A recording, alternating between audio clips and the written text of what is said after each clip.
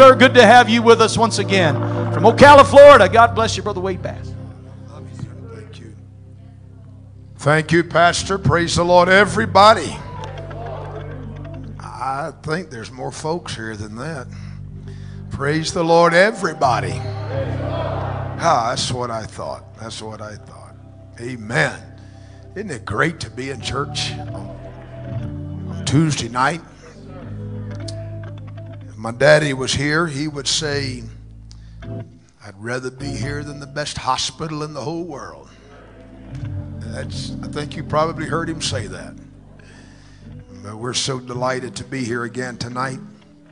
I was uh, thinking a few moments ago about uh, how that there are what they call, or what there is what is called the power of unrelated things. You have seed and soil, sunshine and water. All four of those, they are completely unrelated to one another. But when you put the seed in the soil and you put water on the soil and you let the sun shine on it, things begin to grow and you have a harvest. And I mean, I'm talking about turnip greens on the table and black eyed peas, and all them wonderful things. Amen. It's because it's because there is a power when unrelated things get together. Something begins to happen. And I thought about walking into the house of worship tonight and all these unrelated things here tonight. You got a building, and you got people, and you got music, you got a sound system, you got all of that. They're all unrelated to one another, but when you start putting folks in the house and you start the music and people start singing and they start worshiping, something starts happening. Hallelujah. I'm glad. I'm glad I'm right here tonight in the middle of what God is doing in 2016. Anybody glad you got the Holy Ghost? Amen. Amen. Praise the Lord. And I, I, I am told, and I don't have the names of them in front of me, but I am told that there are three metals in the world that's separate and apart from one another. They have no power of magnetism. But when you combine the three of them in the proper amount of metal in each one, they form the strongest magnet in the entire earth. Amen. So I'm just telling you, by ourselves, we're not a whole lot. But when we all start getting together, hallelujah. I said, when we all start getting together, I do believe that we can form a spirit of magnetism that we can draw people into the house of God. I believe in outreach, but I also believe in indraw. Hallelujah. Ah, let's clap our hands and praise Him. Thank you, Jesus.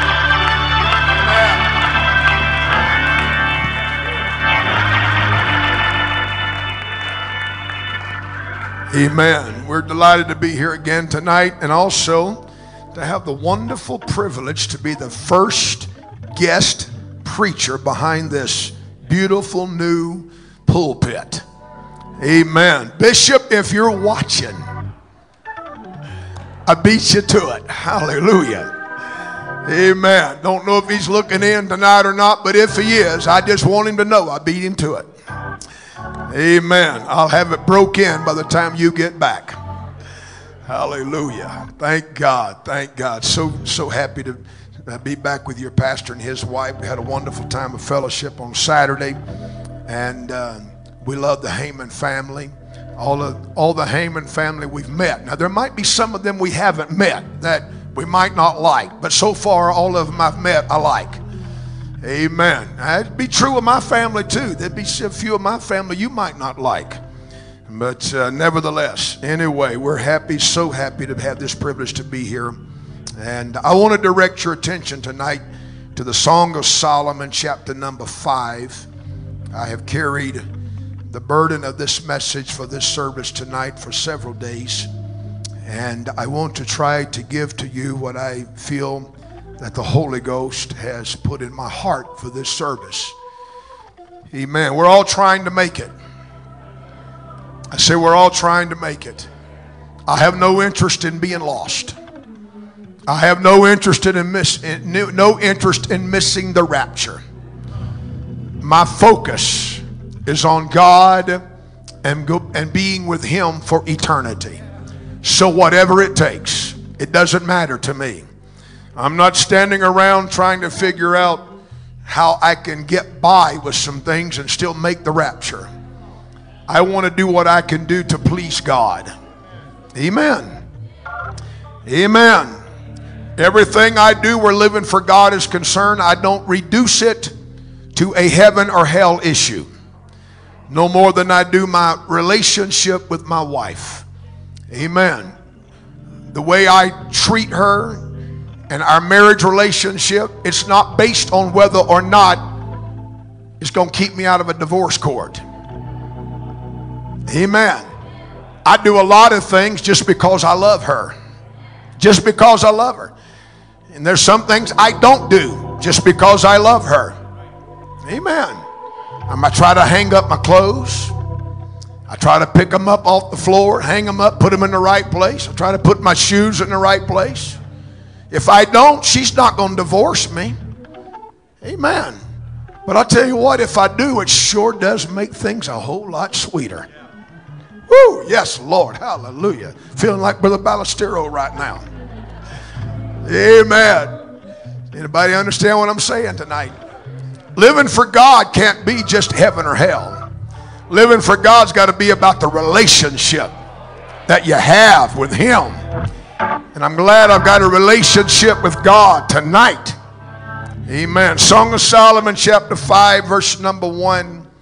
I am coming to my garden, my sister, my spouse. I have gathered my myrrh with my spice. I have eaten my honeycomb with my honey. I have drunk my wine with my milk. Eat, O friends, drink, yea, drink abundantly, O beloved. I sleep, but my heart wakes. It is the voice of my beloved that knocks, saying, Open to me, my sister, my love, my dove, my undefiled. For my head is filled with dew, and my locks with the drops of the night. I have put off my coat. How shall I put it on?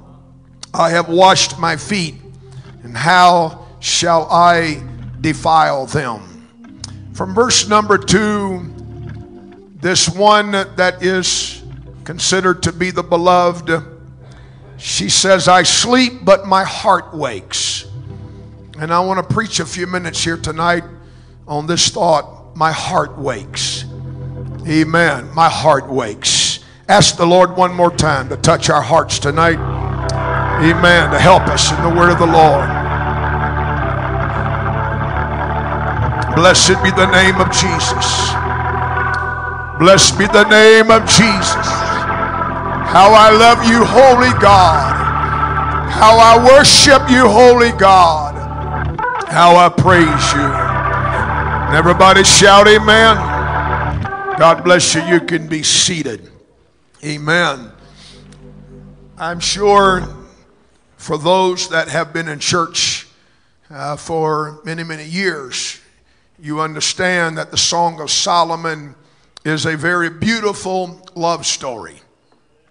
And oftentimes, when people are reading the Song of Solomon, they find it hard to understand simply because the narration moves so quickly between the two main characters. And I understand there are more characters in the Song of Solomon than two, but there are two main characters. And so, consequently, sometimes it's hard to keep up with who is saying what about whom.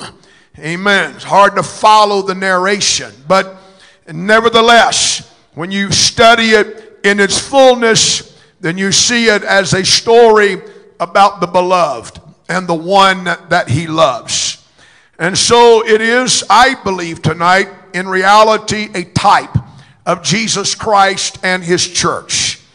Amen. And there are many types used in Scripture that describe the relationship that Jesus has with his church.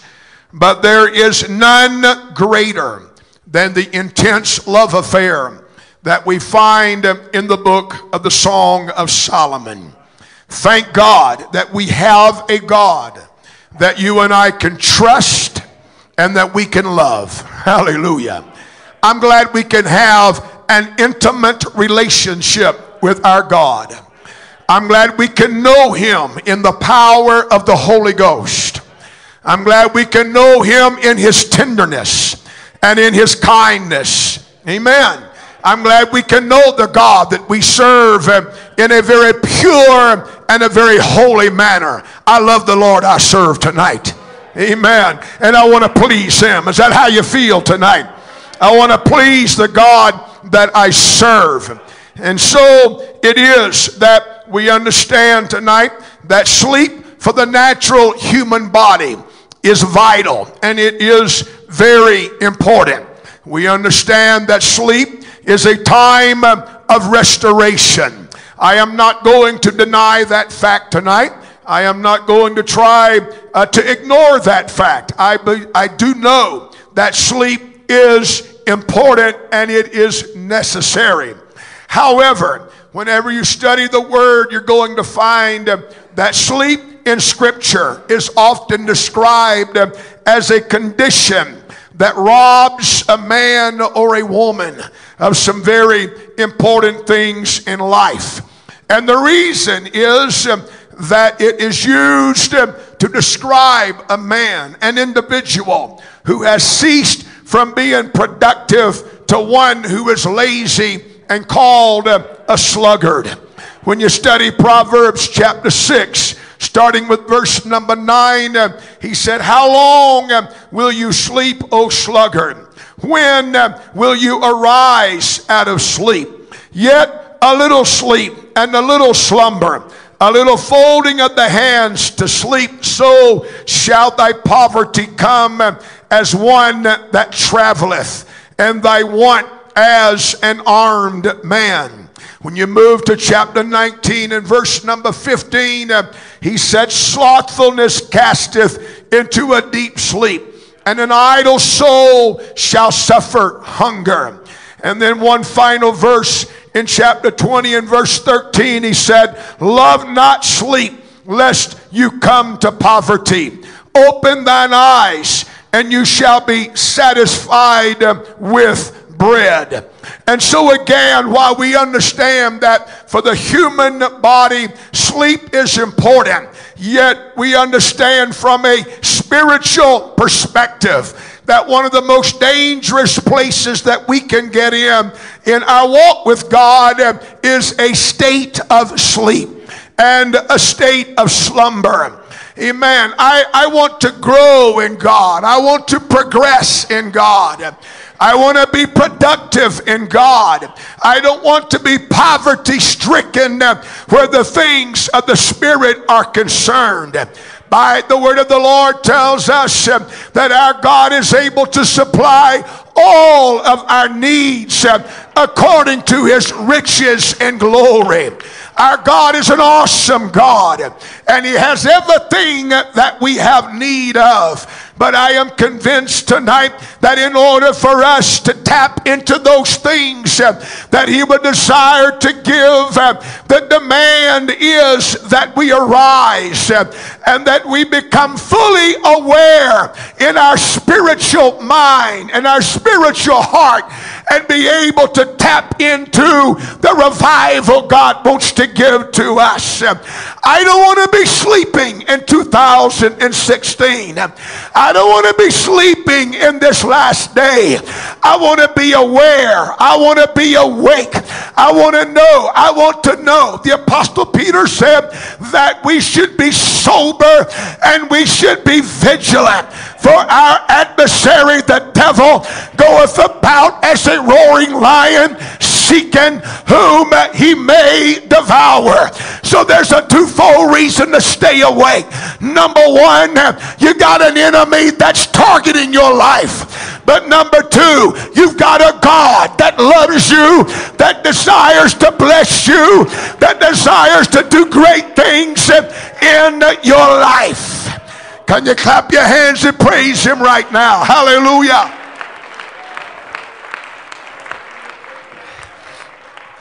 Amen. Amen. And so it is that what we find in verse number one is we find the beloved speaking about the time of banqueting.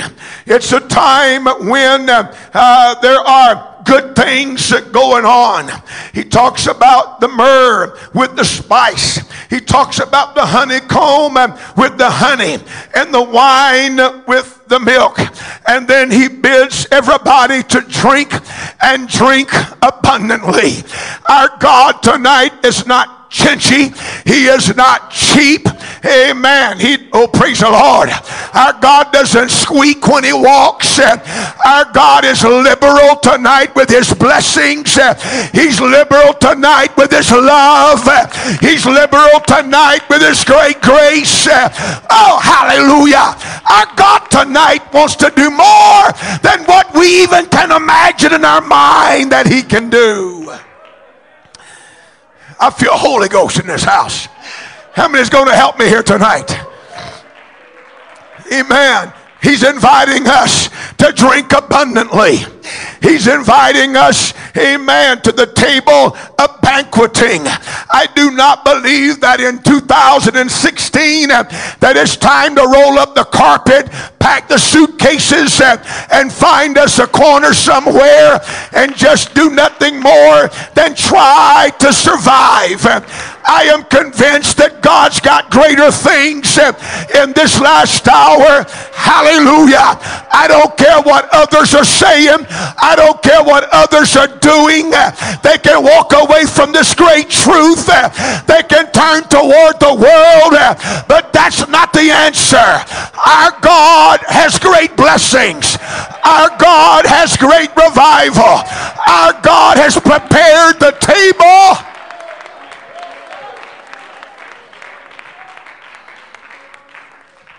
Praise the Lord. Praise the Lord. Praise the Lord. And if he's inviting me to come and dine, I'm taking him up on the invitation. Woo! I said, I'm taking him up on the invitation. If he's got revival waiting, I'm going to go for it. If he's got miracles waiting, I'm going to go for them. If he's got blessings waiting, I'm going to go for them.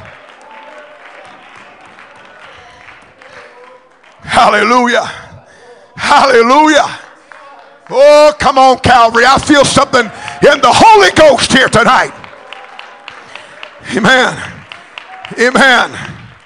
And so, what I see is Him inviting all to come and to drink abundantly. But then uh, you notice that in verse number two, the one that is loved, she says, I sleep but my heart wakes. It's the voice of my beloved that knocks, saying, Open to me, my sister, my love, my dove, my undefiled.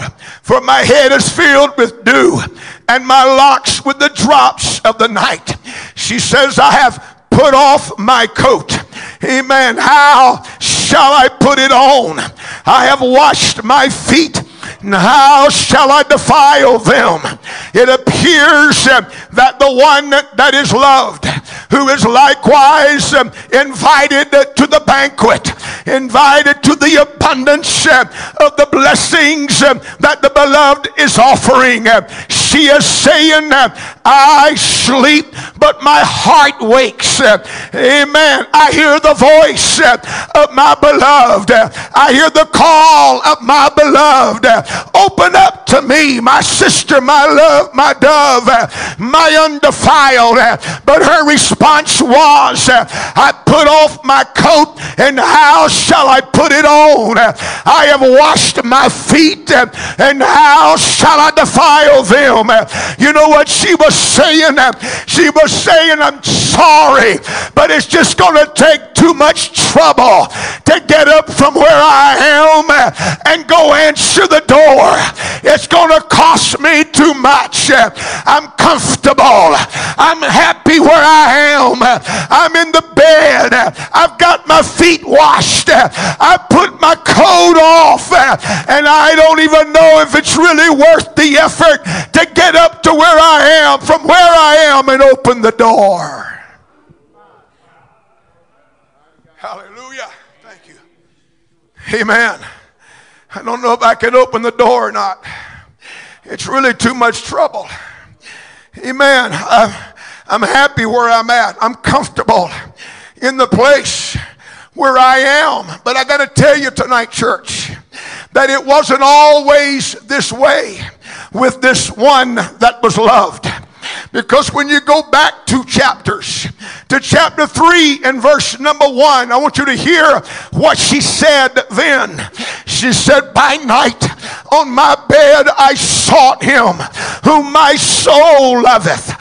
I sought him, but I found him not. I will rise now and go about the city and the streets and in the broad ways I will seek him whom my soul loveth. I sought him, but I found him not. She said, The watchmen that go about the city found me, to whom I said, Have you seen the one that my soul loves? Somebody the one that I love is at. I'm seeking for him. She said, It was but a little while that I passed from them, but I found him whom my soul loveth. I held him and I would not let him go until I brought him into my mother's house and into the chamber of her that conceived me. It wasn't always this way. It wasn't always that I put my coat off and I've washed my feet. There was a time that she said, I gotta find him. I gotta find the one my soul loves. I've gotta pursue until I locate him. I couldn't find him in my bed. I couldn't find him in the streets. I couldn't find him in the broadways. I looked and talked to the watchmen and they didn't know where he was. But when I found him, when I found the one that my soul loves, I made my mind up. I'm going to get a hold of him and I'm not going to turn him loose. I'm not going to let him go. I'm going to take him home with me. I'm going to take him home with me. Oh, I feel something happening in the Holy Ghost right now. Somebody shout, Praise the Lord. The writer of Hebrews in 10 and 32 says, But call to remembrance the former days in which after you were illuminated, you endured a great fight of afflictions, partly while you were made a gazing stock by reproaches and afflictions, and partly while you became companions of them that were so used. The writer of Hebrews is saying, Don't you remember? Don't you remember? Wow, back there. Don't you remember the former days? Don't you remember when you were first illuminated? Can I preach to you a few minutes here tonight? Can you remember when you first got the revelation that there was only one God? Can you remember when you first heard Acts 2:38? Then Peter said unto them, Repent and be baptized, every one of you, in the name of Jesus Christ uh, for the remission of your sins, uh, and you shall receive the gift of the Holy Ghost. Uh, do you remember when you were out there in a drunken stupor and something deep down inside of you said, This is not my answer. This is not what I'm looking for. I need something. I believe I need God. And you went looking for God. You went looking for an experience. You look, were looking for something uh, that would change you. You were looking for something uh, that would turn your life around.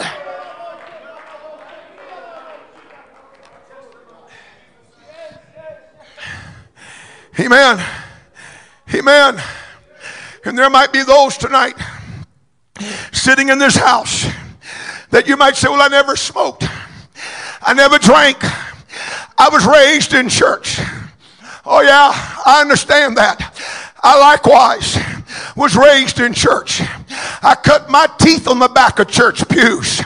But I'm going to tell you, friend, I still remember at six years old when I went down in water in the name of Jesus Christ for the remission of my sins. Hallelujah.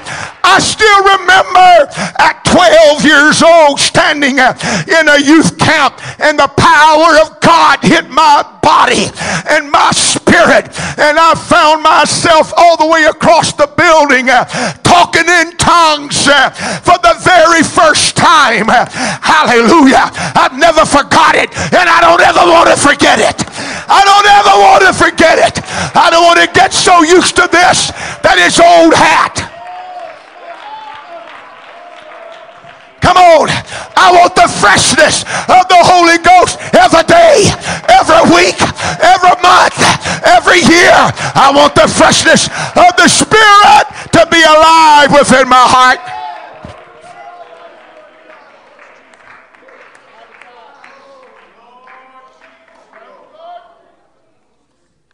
Remember when? I said, remember when? Remember when? You first got the Holy Ghost. Remember when you were first illuminated. Remember when you endured a great fight of afflictions. Remember when you first got in church and all hell broke loose in your life and the devil tried to do everything he could to trip you up and destroy your newfound faith in God. Do you remember that? Anybody in the house remember that? Anybody remember when the when the when the hounds of hell, amen, were dogging your trail, breathing down your neck, telling you that you'll never make it, you'll never survive, you'll never live for God, you don't have what it takes. Hallelujah. Don't you remember when your family turned against you? Don't you remember when your co-workers uh, mocked you and made fun of you? But you didn't care. You couldn't wait to get back to church. You couldn't wait to get back in the sanctuary. You couldn't wait to get back to a prayer meeting. You couldn't wait till the music started because you wanted to dance again. You wanted to shout again. You wanted to praise God again.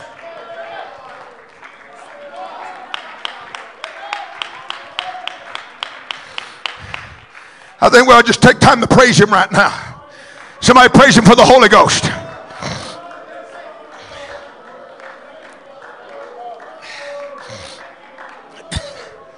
Amen. Amen. Amen. Hallelujah. When I know it might be Tuesday night, but I feel like the Holy Ghost would like to do something in this house tonight.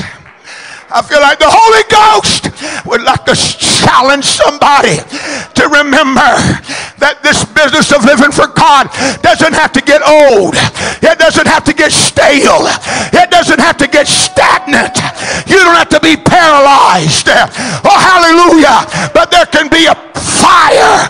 I said a Holy Ghost fire that's down in your spirit that causes you when you come to the house of God to one more time say, I just can't say it enough. Hallelujah. Hallelujah. Hallelujah. I can't stop praising this name. I can't stop praising this name. I can't stop praising this name.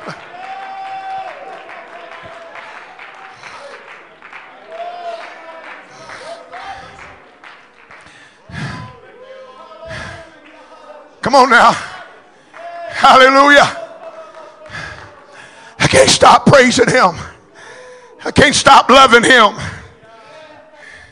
When it all began, I said, when it all began, it was because you loved him. Amen. I said, because you loved him. I sought him whom my soul loved. I sought him whom my soul loved. When you got in this, it was because you loved God.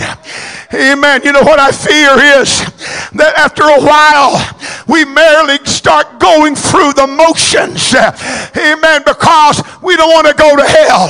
Amen. We don't want to be lost. I got to tell you tonight the way to keep this thing fresh in your heart is to stay in love with Him, to love His Word, to love His church, to love His Spirit, to love to worship, to love to live for God.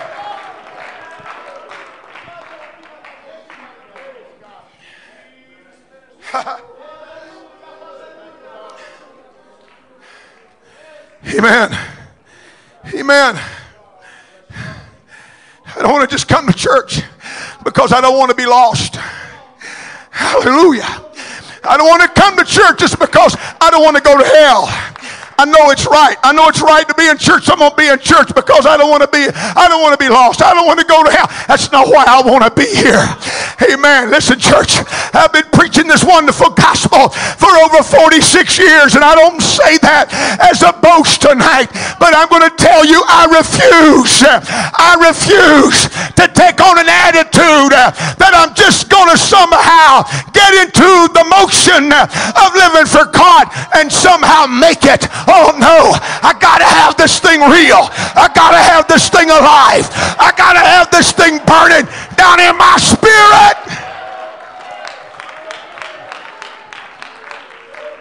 Anybody feel that way tonight?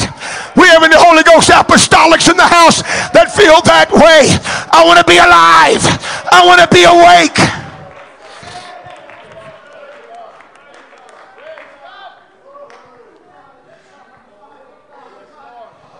Praise the Lord. Praise the Lord.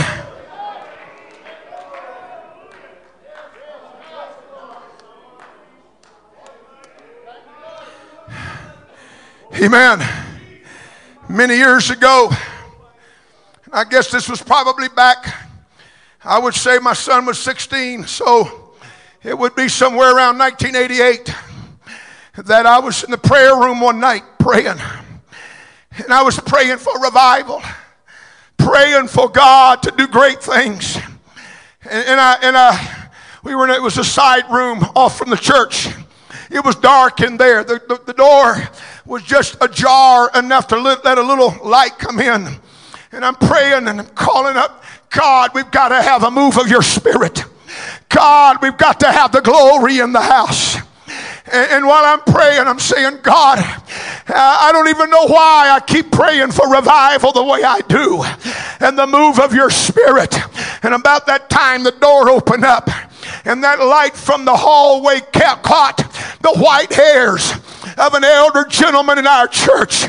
And when he walked in that door and I saw his white hair glistening in the beam of light, I pointed at him in prayer and I said, God, that's one of the reasons right there that I want revival in the hour that I'm living in. Because I don't want the old timers to die and get on the other side and say, Lord, it ain't like it used to be. It's not like it once was. Oh, they still still having church, but it ain't. I said, God, when they get on the other side, I want them to say, Lord, they having church down there like I had it the night I got the Holy Ghost. Hallelujah. They having church down there like the night that I prayed through. They having church just like they used to 50 years ago.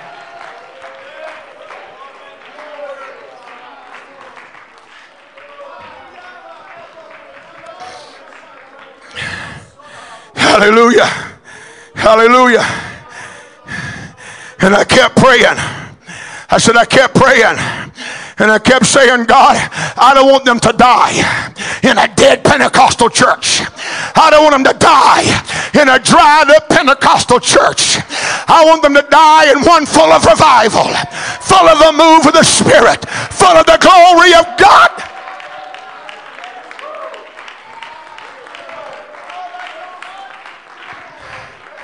Hallelujah.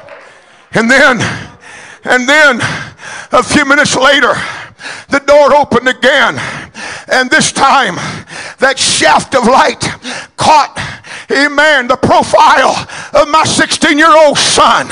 And I said, God, that's the other reason why that I'm contending for revival because I refuse to pass on a dead Pentecostal church to the next generation. Woo! Come on. I refuse to pass off a dry apostolic church to the next generation. God, I know what revival is. I want them to know what revival is. I need some praisers right now. I need somebody to shout aloud. I need somebody to glorify God right now.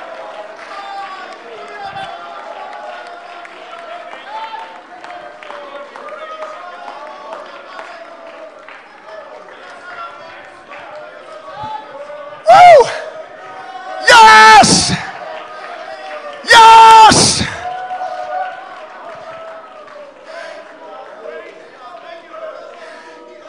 Hallelujah. No, no, no. And now, I said now. I said, now I've lived long enough. Glory to God. That God's blessed me with 10 grandchildren. One that's already graduated to the other side. Hallelujah. He's already shouting uh, on the hills of glory. He left a platform shouting, uh, and all he did was just change platforms. Uh, he just changed locations. And I got a word for you tonight.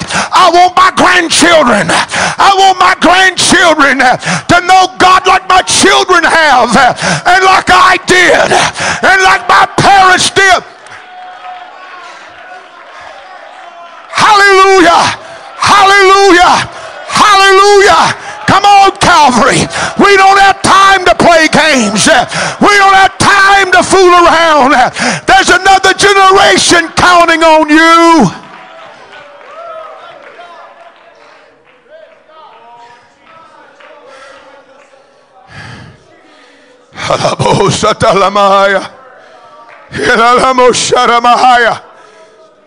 Hallelujah. Hallelujah. Hallelujah. hallelujah. Ain't nothing wrong praising God just for a few moments. That's what I'm talking about. Amen. Amen. Amen. Amen. I'm going to tell you something. This, the Lord, I feel like impressed me with this not very long ago. And that is that sinners walk in our doors and they never heard the lyrics to our songs. Amen. They've never heard the music that is anointed of the Holy Ghost. And when they walk in the door, they're moved just by the songs and the lyrics. They're moved by the atmosphere that's in the house. Can I get a witness, church? Hallelujah.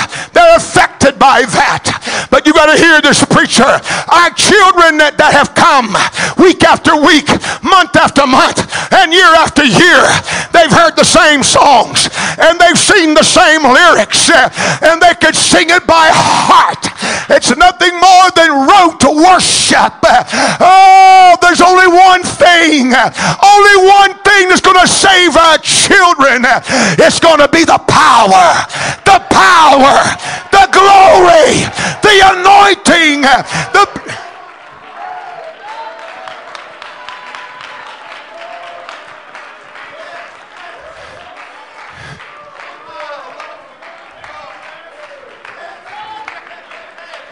Hallelujah. The only thing that's going to save them is when we come here and there's more drawing them to the altar than out there drawing them to the world.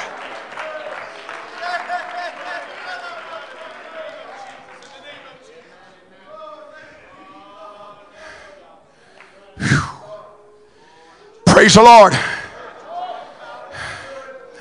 Jesus cleansed the temple. And when he got done cleansing the temple, it said the halt and the lame and the blind came in and he healed them. And then the next thing it said the children were in the temple crying, Hosanna, Hosanna.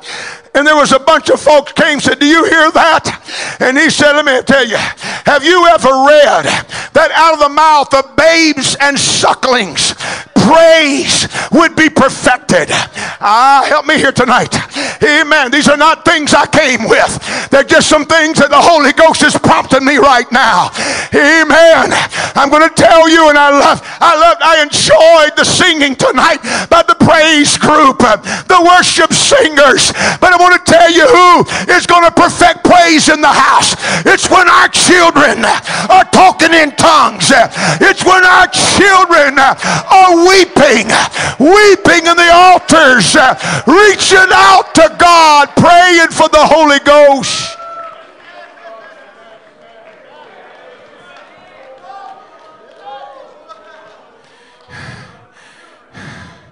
You want to know when you're having revival? It's when the children are getting the Holy Ghost. Help me, Jesus. Hallelujah. Come on. Come on. This is what I preached at home. This is what I preached when I was a pastor.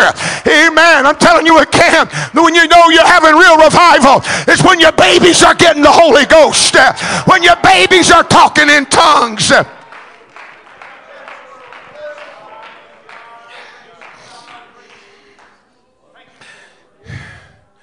Hallelujah. Amen. Hezekiah was told by God, there's going to be great war. There's going to be great problems in Israel. But it won't be while you're alive. It'll be in your sons' lives. As long as you live, there'll be peace. But in your son's life, there's going to be great war. You know what Hezekiah said? And I cringe when I read it. He said, As long as there's peace in my time, he had no concern about what his boys were going to have to deal with, what the next generation was going to have to deal with. Let me tell you why I contend, why I contend for revival, why I contend for the move of the Spirit. It's because the next generation, they're going to fight battles that some of us have never fought. They're going to deal with spirits that some of us have never dealt with. And they're going to need the power. They're going to need the glory. They're going to need the help of God.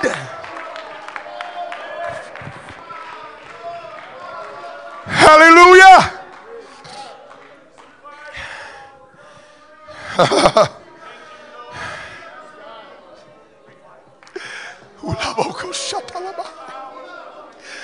Come on, let, come on, let's let something happen here tonight. Let something wake us up. Come on, let's don't just sit on the sideline to say as long as I as long as I've got the Holy Ghost.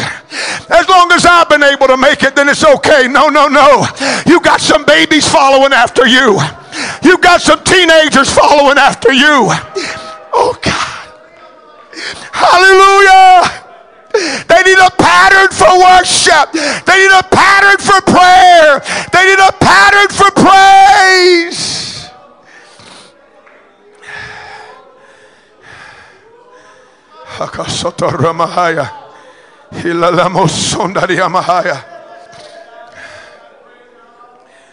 Hallelujah.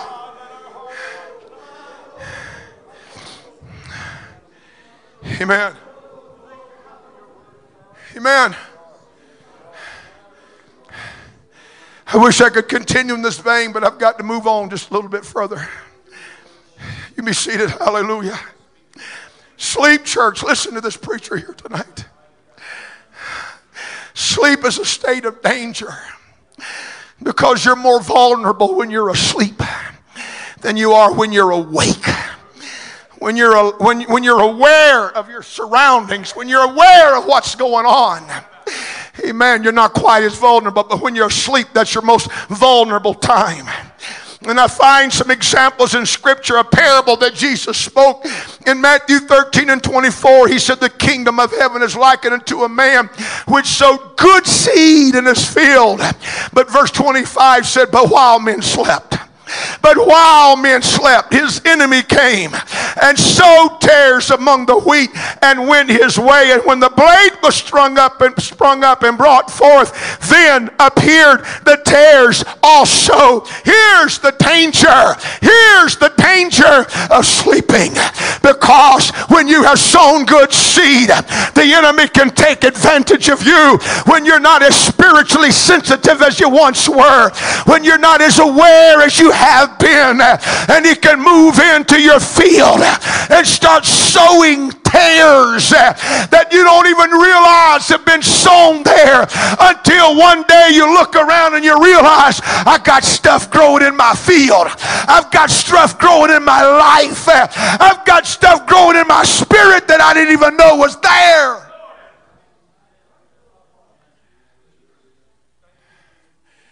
Can I unburden my heart tonight? I'm just here to try to obey the Holy Ghost. I may only be preaching to one person in this house. And if I'm only preaching to one and I can wake you up, thank God for it. Thank God for it. I said, thank God for it. Amen. I'm just telling you, all I'm trying to do is obey the Holy Ghost in this house.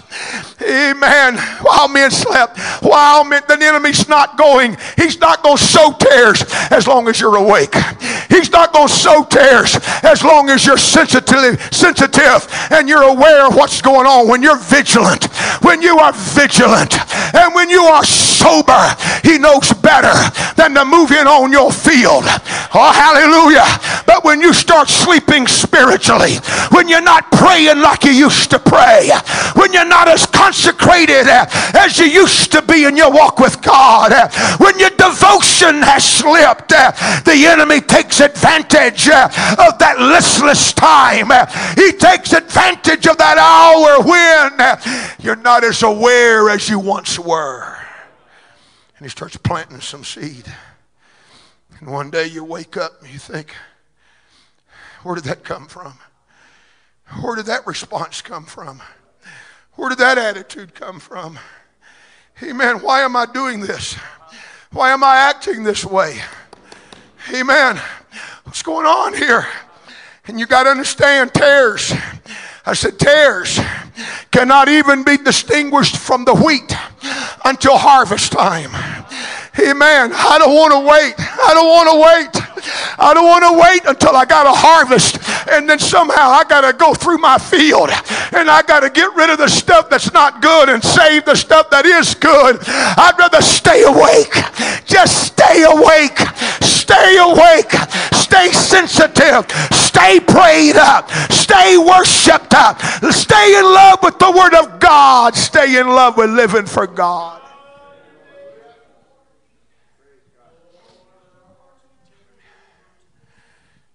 Hallelujah. Amen. Sleep is a dangerous place to be. Hallelujah. Sleep is a very dangerous place to be. Solomon ascended the throne, and he's sitting in his throne room. in his very first case, his very first case, that he had to deal with was a case that unfolded when people were sleeping. Amen. Two ladies came in. One's holding a live baby that's not hers, and the other one, her arms are empty. And the story is that they both had children, they both had infants. And somewhere during the course of the night time, one rolled over on her child and suffocated her child so that it lost its life. And whenever she saw that her child was no longer living, she looked over at the live baby in the arms of the other lady. And the Bible said she exchanged babies. She put the dead baby in the arm of the other woman and she kept the live baby to herself. And when the woman woke up the next morning, she realized that the baby she had in her arms was not the child that she went to sleep with. Amen. It was now a child that had lost its life. And then she realized what happened. And listen to what she said. Her testimony when she stood before Solomon, talking about the other lady, she said, She arose at midnight and took my son from beside me. Listen, while your handmaid slept, while your handmaid slept, she took my son and laid it in her bosom, and she laid her dead child in my bosom. Can I tell you, saints of God, that when we sleep spiritually, the enemy can reach into our life and steal out of our life what's alive and what's, what's real and what's true and put something back into your arms that looks like what you used to have that, my, my, my, hallelujah. It looks like what you used to hold. It looks like what you used to cuddle and love, but it's not what it was because what you're holding now might look like the original, but it don't have life. It's dead. It's gone. There's nothing there. I'm telling you tonight, your adversary waits until you're asleep spiritually, and then he trades babies with you. He takes away your fiery desire to live for God. He takes away your cherished relationship.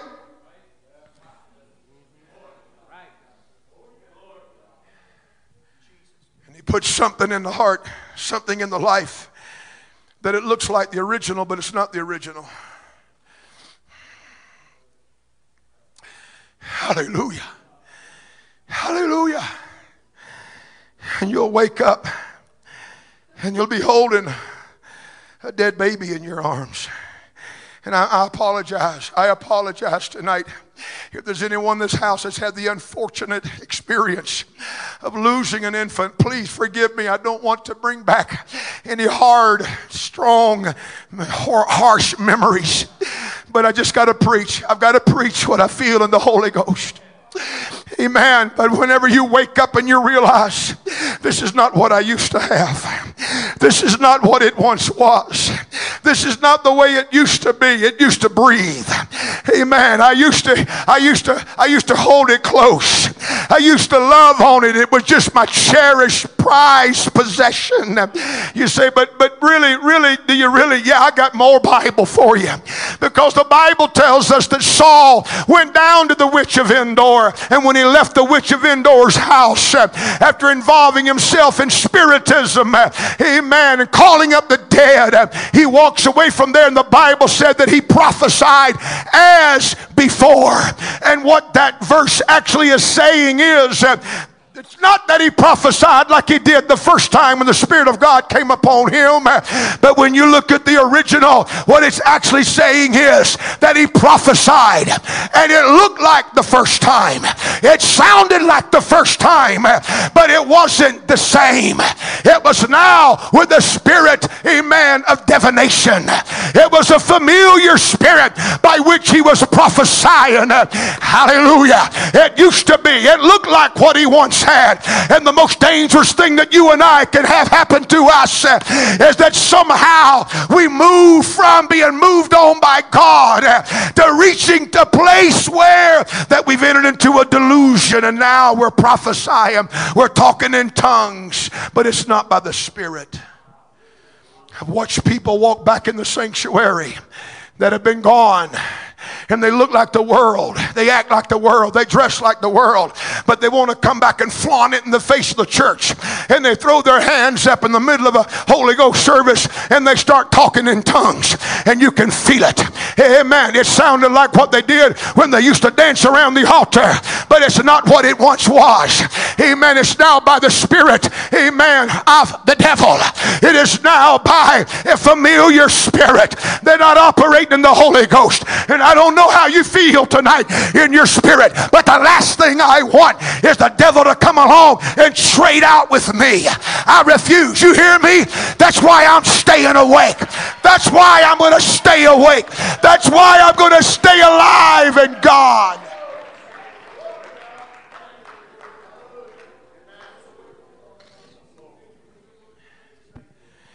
Amen. Amen. Stay awake. We have to stay awake. We can't afford to sleep. Just give me a few more minutes. We can't afford to sleep. We cannot afford to slumber. Not in this hour. Spirits are raging. Amen. Anybody believe me tonight? We are living in a world that is going stark raving mad. Amen. I'm telling you. I'm telling you, it is a crazy world. We're reaching a point in the United States of America where the rule of law no longer means anything. And we're fastly approaching anarchy. Come on, church. I'm telling you, we live in a time where that things are happening like we've never seen before. What is it going on? I'll tell you what's going on. There's spirits at work out there. Hell has enlarged its mouth. The devil knows he's got but a short time. And the last thing the church can afford afford to do is go to sleep. We got to be awake. Oh, God, it's not too much trouble for me. I'm going to get back up and put my coat on. I'm going to get back up and put my shoes on. We're going to have revival. We're going to see the glory.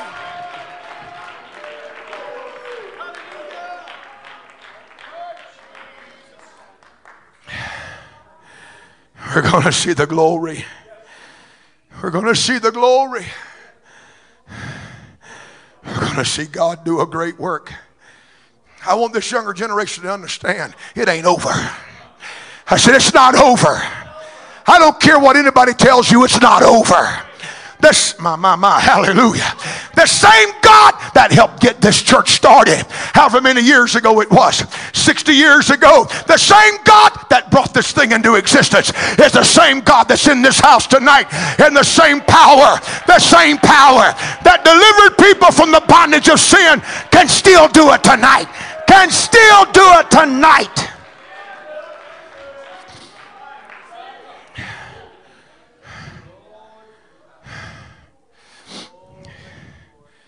I could talk about other things. There's so much I could talk about. I could talk about five foolish and five wise. Amen. So I could talk about five wise and five foolish. Virgins, virgins, you hear me? Virgins. They were pure, they were virtuous, they were holy, they were separated. Amen. What was the difference between the two? Five had oil and five had no oil. What kept the five foolish out when the call of the bridegroom came? You know what kept them out? It wasn't the fact of whether they were living right or not. They were living right. They had they had the standards right. They had the guidelines right. You know what their problem was? They didn't have any oil. They had no oil, and that is what excluded them. And I'm going to tell you, and I'm just if you'll take right now, just for just a moment, I want you to extract out of the equation that that was it was the call of the bridegroom. I want you to think in terms terms of this that when they woke up, when they awakened, when the cry went forth, when they woke up, amen, they realized that there was a situation facing them that demanded oil and they didn't have any oil. Amen.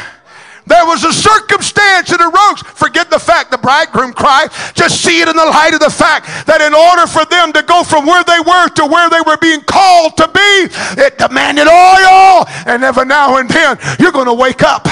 You're going to wake up and you're going to find yourself in a situation where that you've got to have oil. You've got to have the Holy Ghost to help you. That your standards are not going to help you. Your guidelines are not going to help you.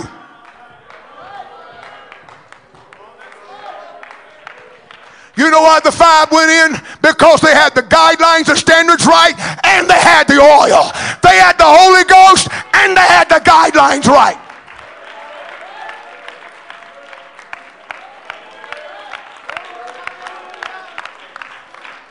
Amen. That's why they could meet the situation. That's why they could respond. It's because they had it right. I don't care what everybody else is doing. It doesn't mean that you and I have to do what everybody else is doing. Hallelujah. Because we live in a time that's going to demand some Holy Ghost, but it's also going to demand separation.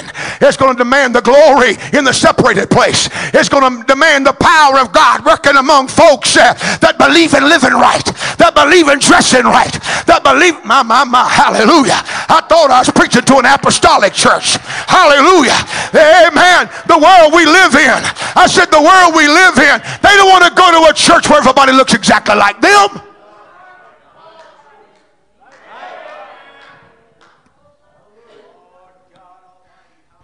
You start tearing down guidelines and fences. The next thing you know, you've got spirits of perversion moving in. You've got spirits of idolatry moving in. You've got spirits of adultery moving in. You've got spirits of fornication taking over. Come on, church. Amen. You can't tear down one wall of separation without losing. Uh, eh, my, my, my. Hallelujah. All I'm trying to tell you is that they could respond to the hour because they had the oil and the separation.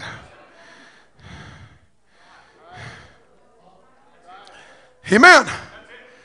That's because, and this is the very reason why, this is the very reason why that I stand in, in, in, in, in opposition to churches that had the standard right, but ain't got enough of the power of God in the house, amen, to do anything for God. I'm just as opposed to that as I am to those that have the Holy Ghost and think we can have more Holy Ghost if we turn to the world and we start embracing the world. I mean, I'm opposed to both because I find in Scripture that what it takes is the separation and the Holy Ghost.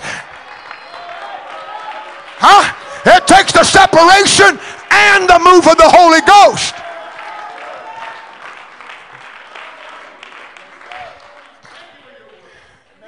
Somebody shout amen. amen. It takes both. It can't be either or. They had it both. And they were able to enter in to that new dimension that was prepared for them. Oh, Lord, have mercy. I feel something in the Holy Ghost here tonight. I said they were prepared to enter into that dimension that was prepared for them, that they were invited to because they had it right. They had it right. They had the separation and they had the oil.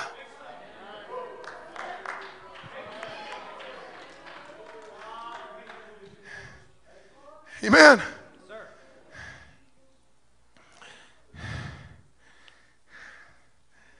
While they slept, while they slumbered, there was a cry went out.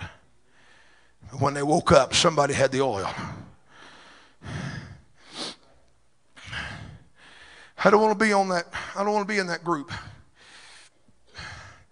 That when they wake up and they're faced with something that needs the Holy Ghost to face it with, that the only thing I got to be able to say is, well, I got my sleeve length right, I got my slacks length right, I got my haircut right, Amen. I got my standards right. Ought to be able to take care of this situation. There's some things the standards are not going to handle by itself. Are you hearing me? By itself, it's not going to handle it. It ain't going to do it. But you got to have it along with the Holy Ghost. If you're really going to enter into that dimension, if you really, my, my, my, I'm going to I'm gonna, I'm gonna fool right around and preach a whole new sermon right here. Amen. Honey, take some notes right here. I think I'm going to preach this later. Hallelujah. Amen. You can only enter into that next dimension if you're willing, if you're willing to abide by the guidelines of the Word of God and yet have the Holy Ghost, have the power of God. I'm going to tell you, you can't substitute one for the other. You got to have them both. You got to have them both.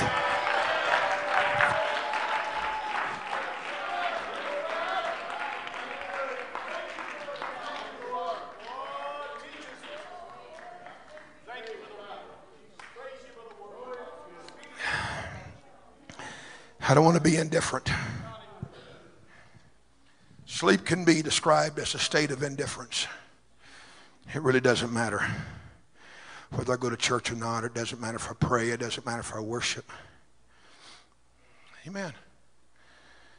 Getting into a state of indifference on the road to glory is akin to, to you sleeping outside on a snowy night. Amen. When the snow moves in and a man's caught in a blizzard, the from what I understand, the temptation is to lay down because of the cold and to get indifferent. The problem is if you lay down when it's snowing, when it's cold, you might never rise again. Can I get a witness? And if you lay down when you're cold in the Holy Ghost, you may never get up again. Oh, hallelujah. You got to keep walking. I'm struggling, but I'm going to keep walking. I'm having a tough time with it, but I'm going to keep walking. I don't feel the heat I used to feel. It's cold, but I'm going to keep walking. I can't lay down. I can't go to sleep. I can't stop now. I got to keep walking. I got to generate enough heat till I can get someplace where that I can survive, that I can live.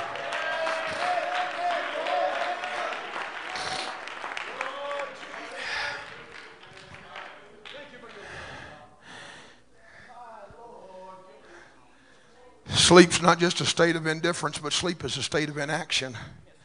It's when there's no productivity.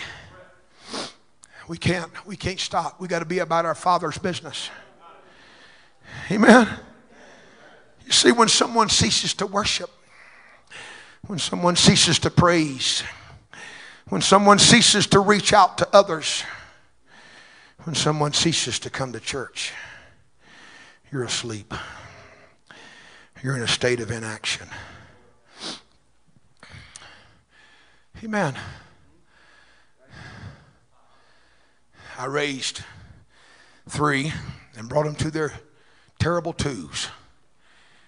And I watched nine grandchildren come through their terrible twos. Amen. And you know what a two year old does when they're fighting sleep? When a two year old's fighting sleep, they bounce off the furniture. They're jumping from one piece of furniture to another. They're walking on the back of the furniture. They're chattering 90 miles an hour. Amen. Anybody know what I'm talking about? Two year old, I mean, they're fighting sleep for all they're worth. But you know what they're doing? They're fighting sleep. That's why when I come to church, I'm going to be moving. I said, I'm moving. That's why I clap my hands when I come to church. That's why I leap for joy when I come to church. That's why I dance a little when I come to church. I want the devil to know I'm not asleep. I'm not asleep. You're not planting some stuff in my field. You're not going to trade babies with me. Oh, come on now. My oil is not going to run out. Woo! Lord, I feel some Holy Ghost. I feel some Holy Ghost. I wish somebody, I wish somebody in this house would just get out in the middle of the aisle and say, hey, devil, you're not going to put me to sleep. You're not going to put me to sleep. You're not going to get me to be indifferent.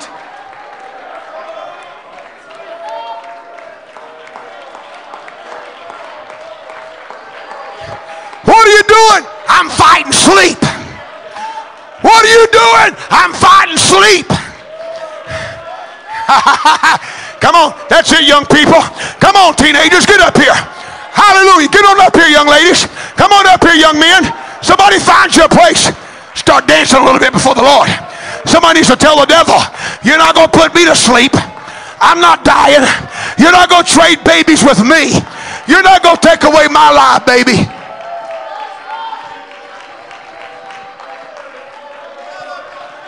You're not taking away my live worship.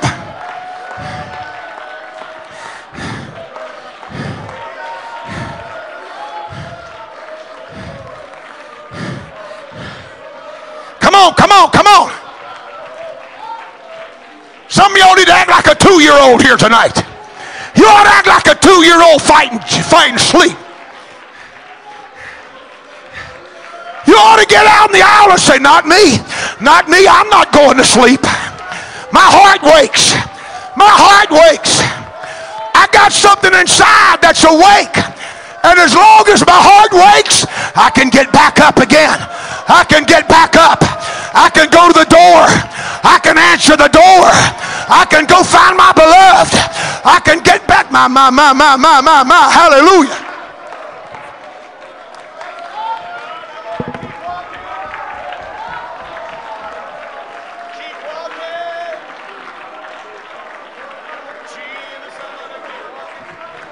Come on, the Holy Ghost wants to do something in this house here tonight. Have we got time? I said, have we got time for the Holy Ghost to do something? My heart wakes. My heart wakes. My heart wakes. I'm awake enough that I'm getting up from where I am. I'm getting out of my bed. I'm putting my shoes back on. I'm putting my coat back on. I'm going to have revival. I'm going to go see a move of the Spirit. I'm going to get me a breakthrough here tonight. I'm going to get me a breakthrough here tonight. I'm going to let the Holy Ghost touch me. I'm going to let the Holy Ghost change me.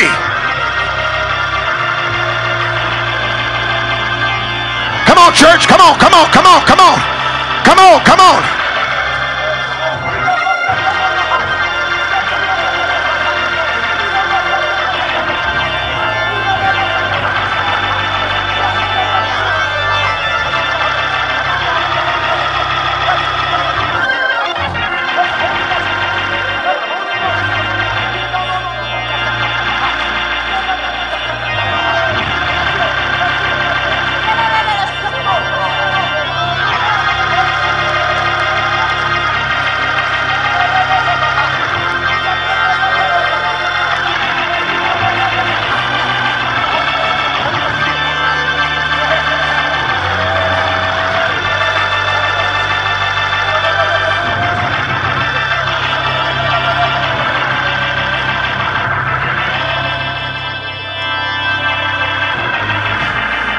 Make some noise.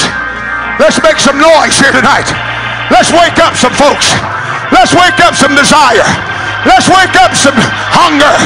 Come on, wake up some hunger. Let's wake up some hunger.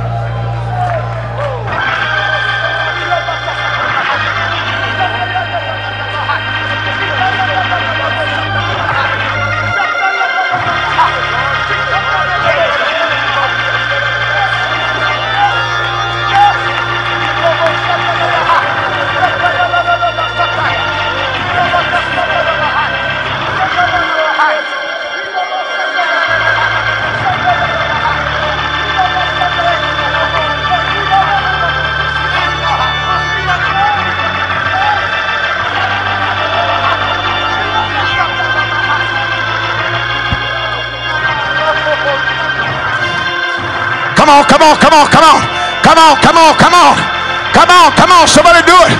Somebody reach out. Somebody reach out.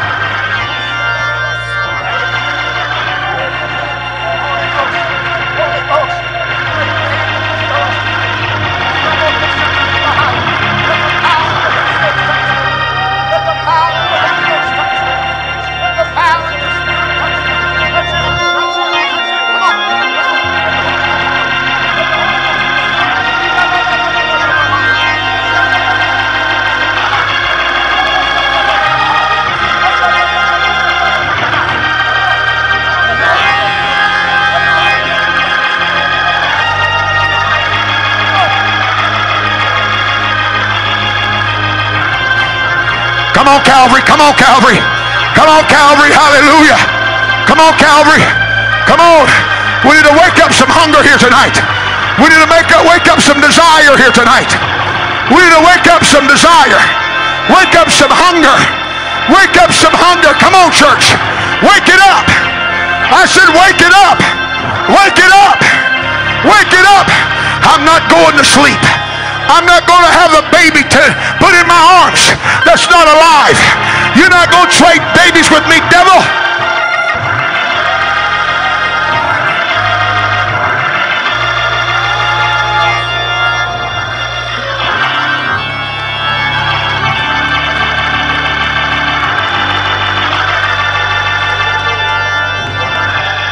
Come on, come on. That's it.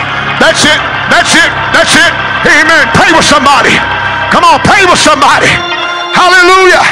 Pray with somebody close to you. Pray with a brother. Pray with a sister. When I'm talking about really pray, wake up. Wake up the desire. Wake up the hunger. Wake up the thirst. Wake it up. Wake it up. Wake it up. Wake it up.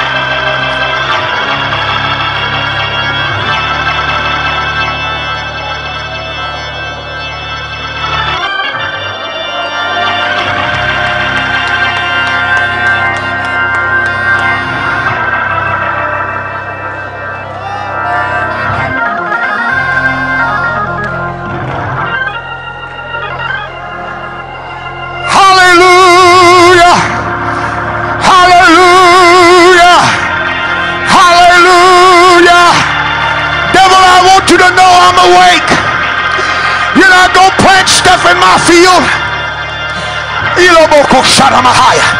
You're not going to plant complacency. You're not going to plant lethargy. You're not going to plant a spirit of apathy. Hallelujah. Hallelujah. I'm going to be on fire for God. I'm going to pray like I've never prayed. I'm going to worship like I've never worshiped. Hallelujah. I'm moving on. I'm moving on. Hallelujah. Hallelujah. Hallelujah. I'm coming out with the oil. I want to go to the next level.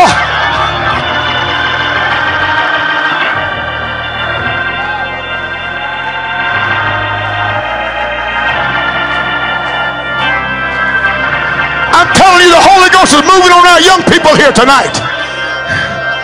I said the Holy Ghost is moving on some teenagers here tonight. Come on, church, let's back them up. Let's back up this next generation. Let's back up the next generation.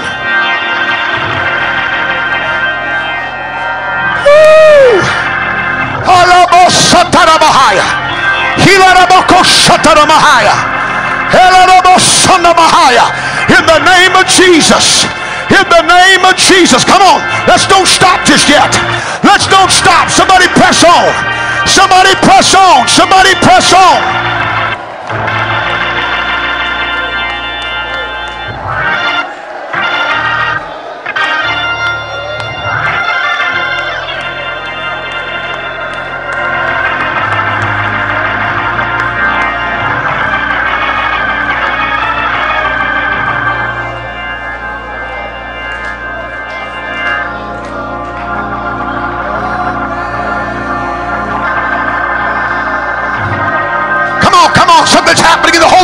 Right now.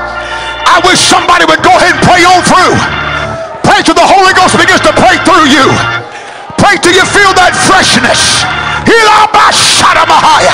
Come on, I feel something sweeping this house. That's it. All over the house. From front to back. Lift your voice. Lift your voice all over the house. Somebody lift your voice all over the house.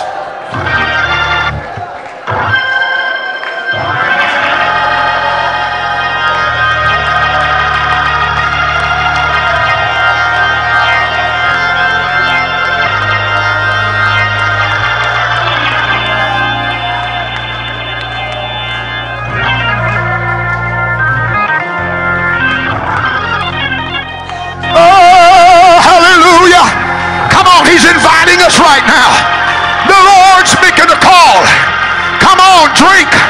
Yea, drink abundantly. Drink abundantly. Drink abundantly. Come on and drink. Come on and drink. Come on and drink. Hallelujah. Hallelujah. Somebody needs to get what you need here tonight. Yay! Yay! Yay! Yay! Yay! Yay! Alabo sharaboyanda bahaya. Ilabo sondaraboyanda baha. Mahaya. Woo! Ma ma ma ma ma ma ma. Hallelujah! Hallelujah!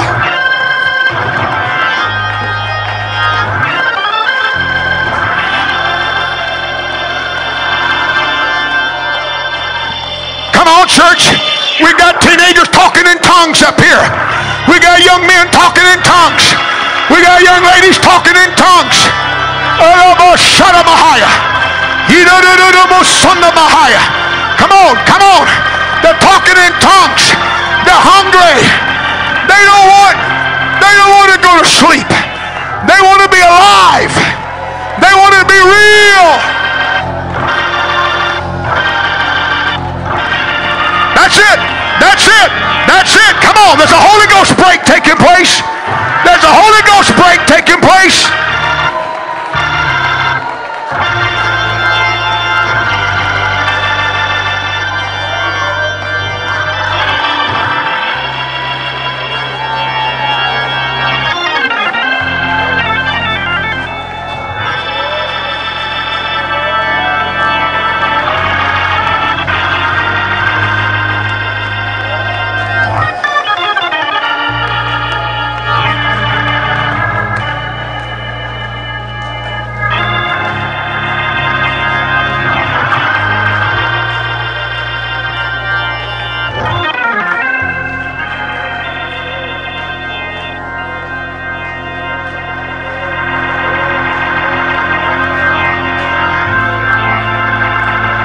On, let's don't let's don't let this go yet. Come on, let's don't let it go yet. Don't let it go. Don't let it go. Come on, church, don't let it go. I'm asking you, don't let this go. Hallelujah. Hallelujah. Oh, don't let it go. I, I, there's something happening in the house right now. You don't know most of the time. I believe there's some folks that's reclaiming their life, baby. There's some folks reclaiming their freshness in the Holy Ghost. They're, re- they're reclaiming, they're reclaiming, they're reclaiming, they're reclaiming.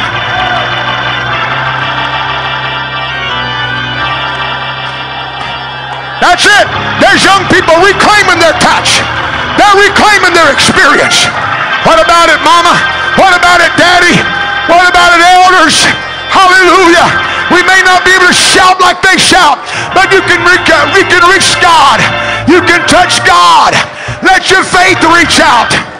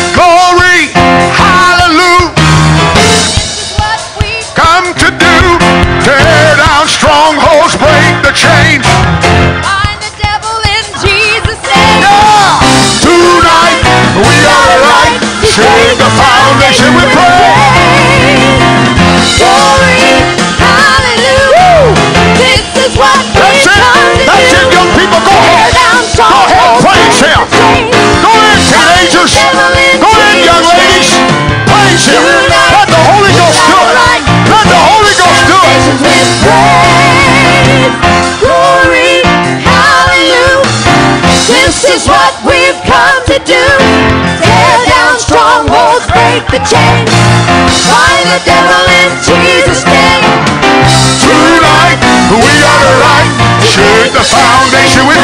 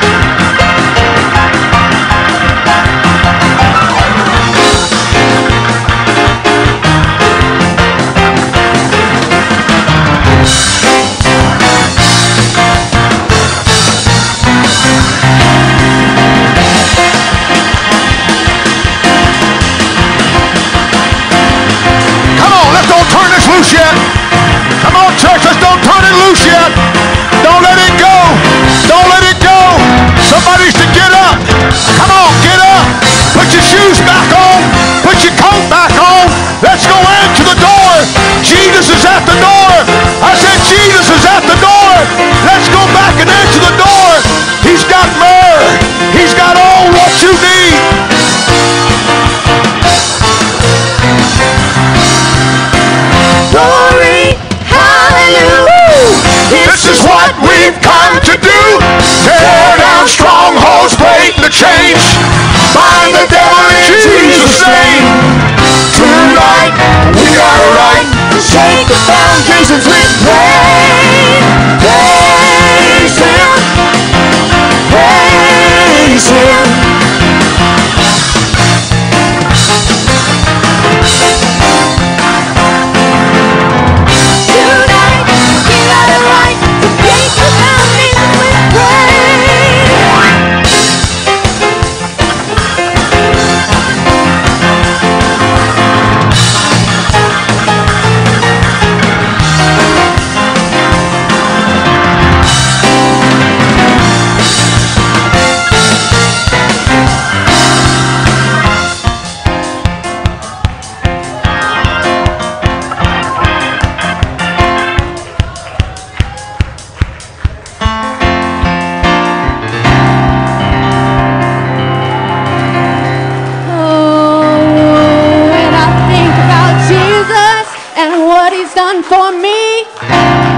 Think about Jesus and how he set me free, I wanna leap, leap, leap, leap, leap all night, all night, all night, all night.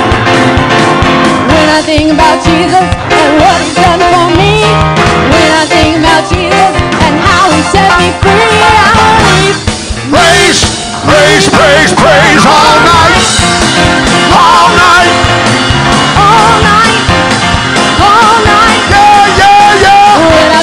I Jesus Come on. Come on, church. There's young boys praying for the Holy Ghost here. and how he I said there's young people praying for the Holy Ghost. There's children reaching out right now. There's children praying, children praying. all night, all night.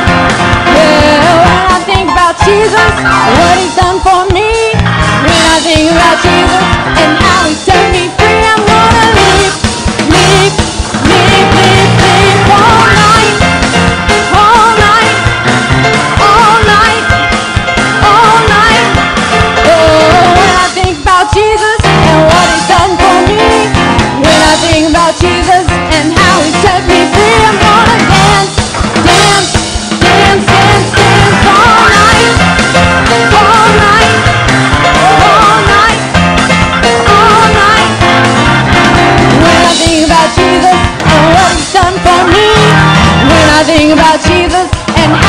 set me free, I'm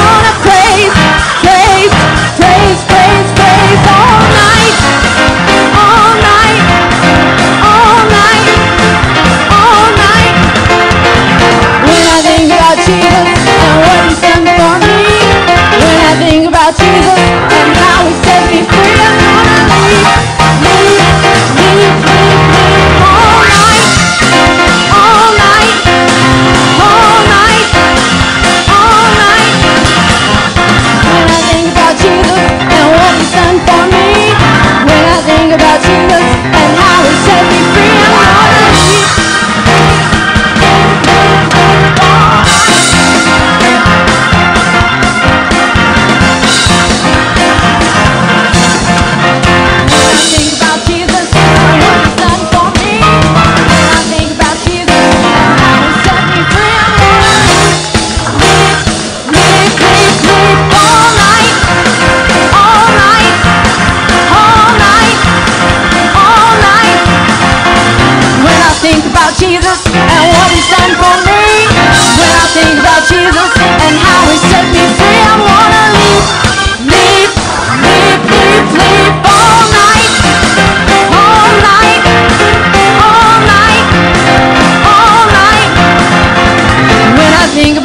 Jesus and what he's done for me, when I think about Jesus and how he set me free, I'm gonna praise, praise, praise, praise, praise all night, all night, all night, all night. When I think about Jesus and what he's done for me, when I think about Jesus and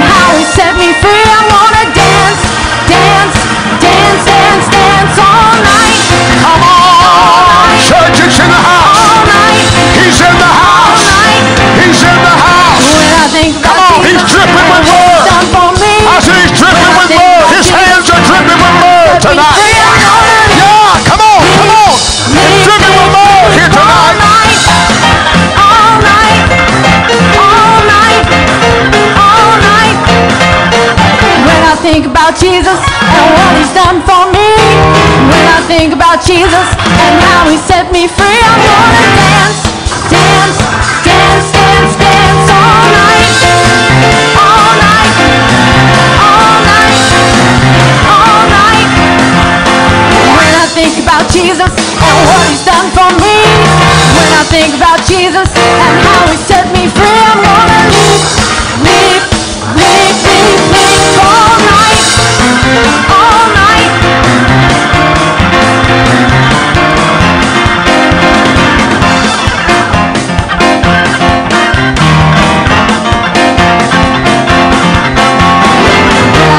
about Jesus and what he's done for me.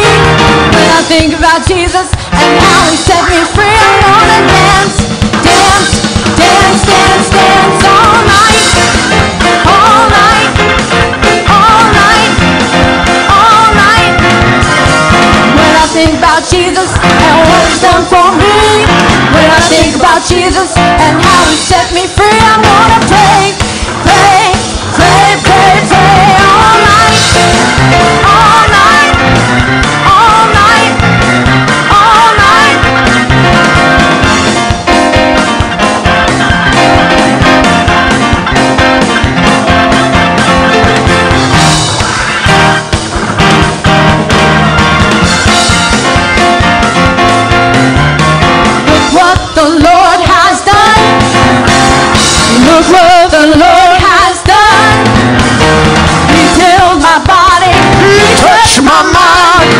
saved me just in time.